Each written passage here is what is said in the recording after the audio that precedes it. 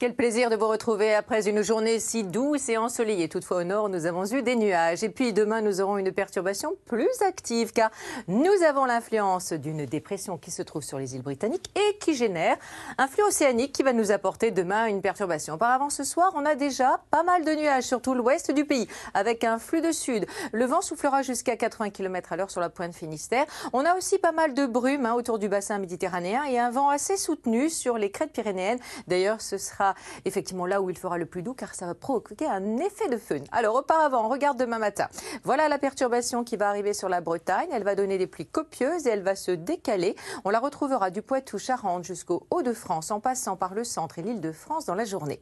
À l'arrière, un ciel de traîne avec toujours un vent de sud-ouest assez soutenu, 80 km à l'heure sur la Manche septentrionale. Et on a aussi des entrées maritimes, vous l'avez vu, avec de la pluie euh, sur le bassin méditerranéen et les Cévennes. Mais la Mazère est très douce. Les températures seront printanière, mais demain on aura quand même un contraste de Mazère. Il fera plus frais à l'est qu'à l'ouest. Moins 1 à Strasbourg, 14 à Biarritz, 6 dans Paris.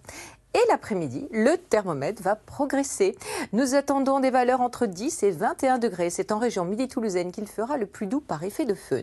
Alors la journée de vendredi s'annonce sensiblement la même, avec toujours cette perturbation qui va onduler sur le nord du pays, donnant des nuages sur la Bretagne et quelques gouttes de pluie, un vent de sud toujours bien présent, des nuages également sur les Hauts-de-France et jusqu'au Grand Est, et toujours ces entrées maritimes qui vont donner un ciel gris sur le bassin méditerranéen jusqu'aux Cévennes, avec du vent euh, de secteur sud dans le couloir Grande douceur, 13 à 16 degrés. Puis samedi, une perturbation de faible activité arrivera par l'ouest du pays. Elle s'installera sur l'arc atlantique pour dimanche.